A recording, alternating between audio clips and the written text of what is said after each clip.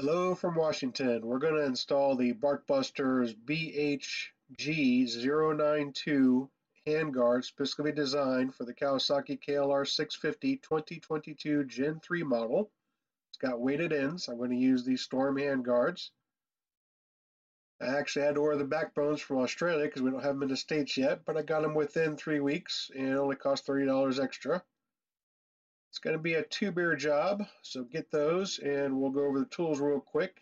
You're going to want a torque wrench and you're going to have a 10 millimeter socket, a 5 millimeter Allen key socket for your torque wrench, a 5 millimeter Allen key, all your Barkbuster bolts are 5 millimeter, and a 6 millimeter to take off your stock weighted ends, and then a Phillips screwdriver. Yeah, this is the right side instructions they give you, and then they just want you to repeat for the left side. Simple enough. Um, when you put all this together, you know, keep keep all the joints loose. Pay particular attention to the direction, so you make sure you're using the right elbow. Uh, that the right side elbow is gonna be pointing inside. So there you are. Those all those angles are coming inside, right, right there. And then just keep them all loose Alright, so on the right side, I got it all tightened up the way I wanted it, but you, you know, you put them in loose there, you get them situated, and I did run the cables, throttle cable and whatnot underneath uh, the bracket because this got crazy tight going over the top of the bracket when you got all the way to the to the left turn. So this gives it, uh, this is going to give it a lot more freedom over there. There's no pulling on it, anything like that. It's right there at the very end.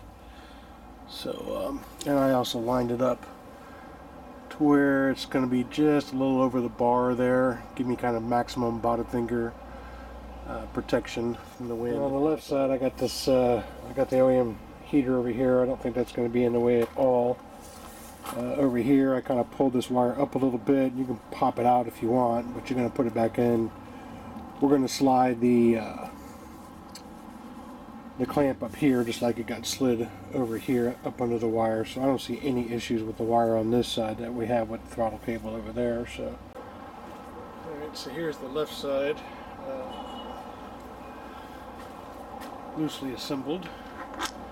One of the things I love most about this design is it does include these weighted ends weighted bar ends on there. I absolutely love that on the inside. So let's try and get this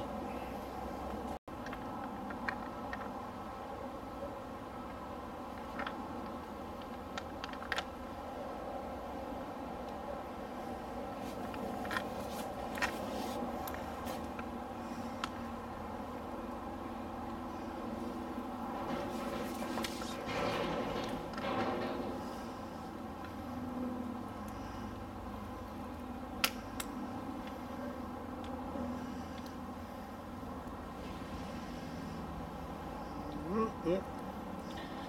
Cables are fine. Crazy tension.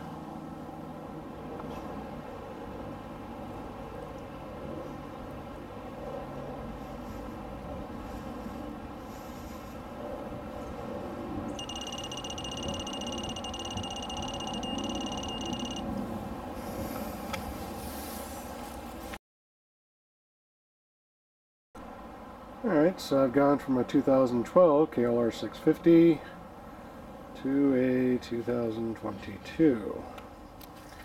Done a few mods already. I'll uh, just run by. This video was about the Barkbuster backbone specifically designed for the 2022 KLR that comes with these weighted ends for the fitment. I just got those installed. Got them set up right there and set up right there. Uh, I might do a little adjusting later, but I think they're about right. I'm going for a ride here. Other things I've put on is the, the Zumo XT. Um, I tapped the power wires for the Zumo over here on the accessory. So if you uh, if you go inside, take this panel off, take these off, get inside there, you'll see a couple barrel connectors behind there. I'll put up a little video on that. I took some shots of what I did and uh, I'll show you how I put tap the power there and I'm probably going to tap that same place for uh, power on the Trail Tech to get myself hopefully a graphical